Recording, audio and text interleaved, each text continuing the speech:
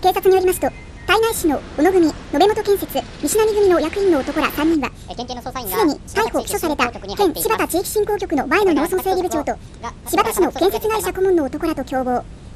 8月に実施された県発注の胎内市での土木工事の入札で落札予定価格を事前にやり取りして2070万円で西成組に落札させた疑いが持たれています。およそ4時間半の先月発覚した官製談合事件では建設会社顧問の男が仕切り役となり常習的に行われていた可能性があることが分かっていました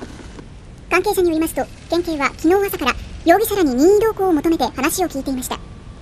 小野組は先ほど警察の捜査にしっかり協力しながら車内についても状況の把握に努めるとコメントを出しました。